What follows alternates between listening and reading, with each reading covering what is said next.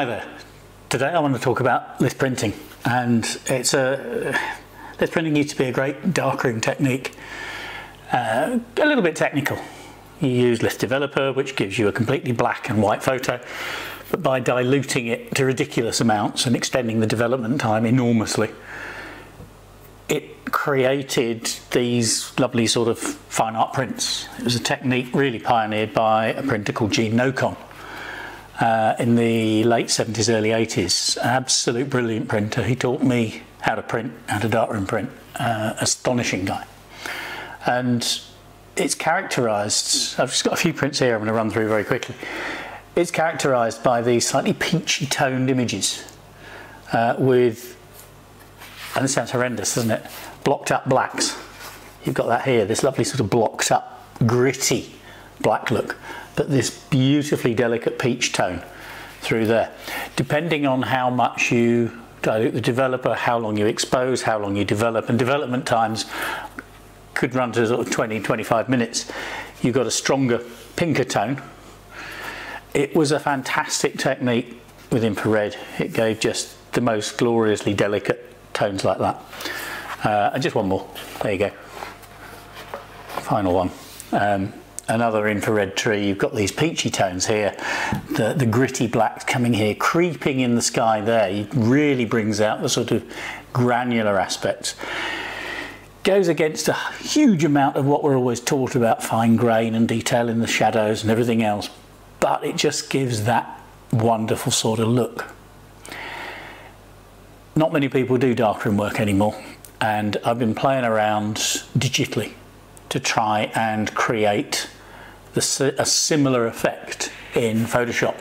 I thought I had it, um, and then I just tried another technique, and I think I've improved it even further. So we're going to switch now to Lightroom and have a look at a couple of examples and a few uh, photos that I've worked on. Having seen the darkroom version of a lith print now we need to take a digital print and achieve the same effect in Photoshop. Now the character, I thought this photo would be ideal for it. But the characteristic of lith prints is some of these dark tones, just a few of them need to be really thick and gritty uh, with blacks. Uh, so do some of the shadows here and maybe a little bit of the texture in here. But the other thing about lith prints is they're very soft and they're very delicate elsewhere. And the texture within this area is just too strong. So we need to soften that as well. Fortunately, the whole thing can be done with one simple adjustment layer and the change of a blending mode.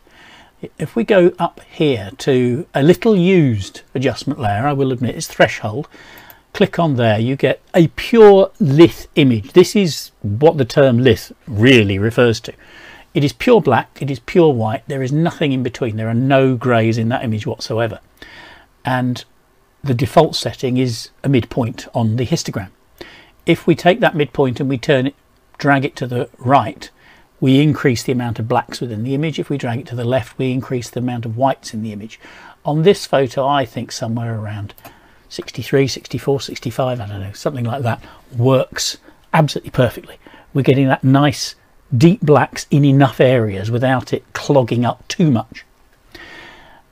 And if we change the blending mode from normal to soft light, we're going to just bring, there's our soft light, that lighter tone into all of those mid-tone areas. It looks horrible as a uh, colour print, but when we, once we turn it into a duotone, it'll look good.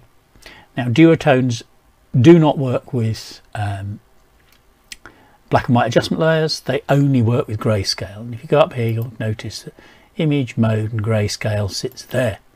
Now grayscale will only work on flattened images. You will notice we've still got a separate adjustment layer on this. So if I click on grayscale, it will ask if I can flatten the image, which I can, and then to discard the color information, which I can, and it turns it into a, a black and white with very, very soft, delicate grays. But that's, that's starting to look like a lith print but it hasn't got those lovely peachy tones there. And to do that, we need now to introduce uh, duotones. Again, if we go up to image and we drop to mode and we go to uh, you'll notice duotone is still greyed out of course so we have to go down to 8 bits per channel instead of 16 so if you're working from a raw file you're going to have to drop it down to an 8 bit file if you're working from a JPEG it'll probably be an 8 bit anyway we'll click on there we'll go back onto image back onto mode. Duotone is no longer greyed out so we can now click on it. Hey presto we've got the result. How have we done that? Well our first tone in duotone is black. Our second tone is any color you like.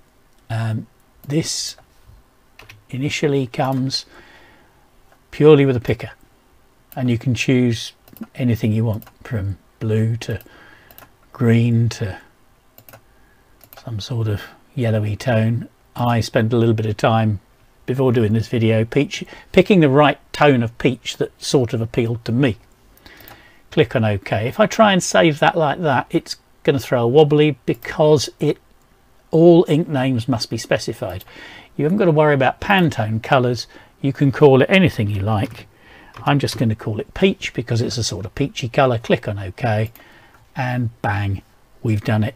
It's as simple as that. Let's look at some other examples. Let's now take a look at a few examples. This is the one we worked up in Photoshop earlier. And of course this is the colour version. When we add the lith processing style I think the tree in the foreground becomes more dominant over the background which is now recessed to some extent and the textures in the rocks on the right hand side I think just stand out that little bit more. This was shot on Great Mell Fell um, last Christmas Eve. A good, heavy, dark, stormy sky.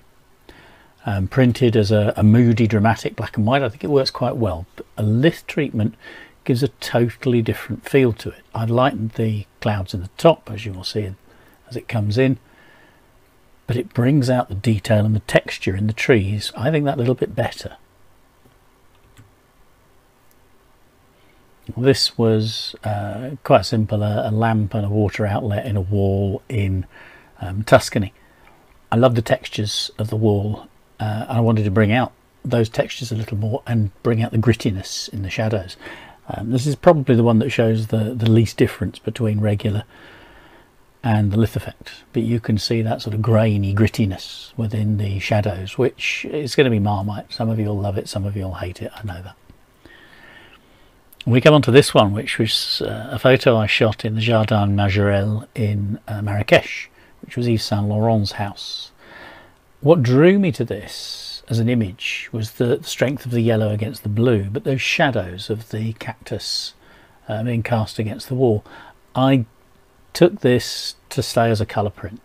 I never thought that it would become a black and white image, let alone a lith image. But I gave it a go and I actually really like the result. It's, it's nothing like what I expected, but it really brings out those shadows and the gritty graininess of the texture on the wall. So sometimes you can surprise yourself. The Kelpies at Falkirk shot with a big stopper filter and a 30 second exposure, uh, of course on a tripod, um, to soften the sky and, and blur the clouds out to make the Kelpies really stand out. Interestingly, giving this that bit of lith treatment brings out more sort of grain granularity in the uh, concrete below the kelpies but I think it almost makes the water and the sky take on a, a, almost the same sort of metallic feel as the kelpies themselves.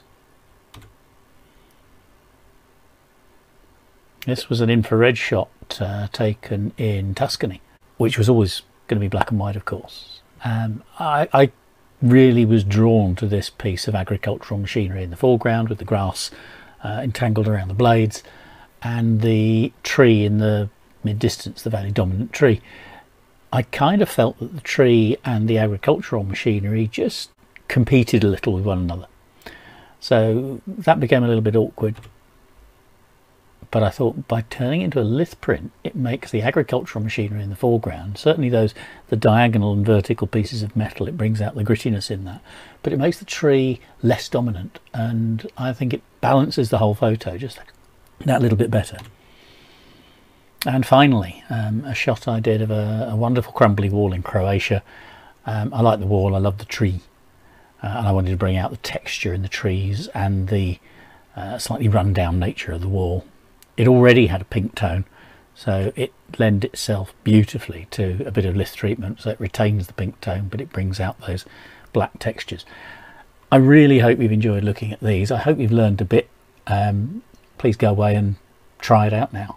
Uh, leave me feedback below. Uh, if you haven't already subscribed, please do.